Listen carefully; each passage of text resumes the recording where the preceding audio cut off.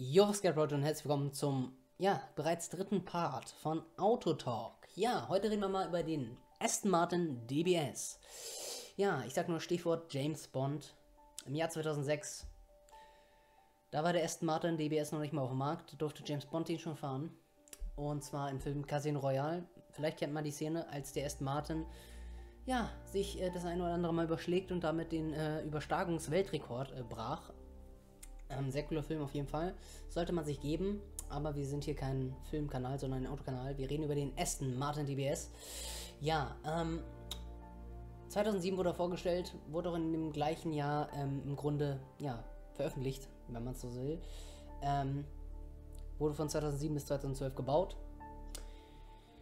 Ist ein sehr, sehr hübsches Auto. Er hat ein Leergewicht, da waren die Leute, glaube ich, sich scheinbar nicht sicher. Manche sagen zwischen 1700, manche sagen auch 1800 Kilogramm. Muss ich einfach so sagen, weil ich möchte ja schon äh, ein bisschen, ja, die Wahrheit widerspiegeln. Ähm, 517 PS. Ja, was soll man sagen? Ähm, 517 PS, ähm, 305 km/h Höchstgeschwindigkeit. Äh, 4,3 Sekunden von 0 auf 100. Grundpreis um die 250.000 Euro und äh, der DBS, wie es möglicherweise der Name schon sagt, ist ähm, im Grunde die scharfe Version, die Sportversion vom Aston Martin DB9, der ja, ähm, ja im Grunde das gleiche Modell hat, nur halt, dass die DBS ein bisschen schärfer ist, ein bisschen böser, fetter Diffu Diffusor, ähm, ein bisschen breiter, also allgemein einfach ein bisschen mehr PS. Ähm, und wie schon gesagt, im Grunde der James Bond Wagen, ich glaube damit in diesem Film hat sich der, der Aston in die Herzen gefahren, auf jeden Fall. Äh, Gab es auch ein Volante, also halt ein Cabrio davon. Ähm, ja, einfach ein sehr cooler Aston Martin, einer meiner Lieblinge. Hauptsächlich durch den Film, muss ich absolut sagen. Mm.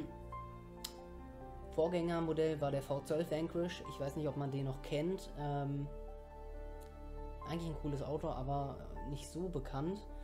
Und der Nachfolger natürlich der aktuelle, was heißt aktuell, ist jetzt auch nicht mehr so aktuell, der aktuelle, halt der aktuelle, wow, soll ich nochmal aktuelle sagen, Vanquish, ähm, ja, der Vanquish, dazu muss ich unbedingt nochmal ein extra Video machen, der ist nämlich so geil.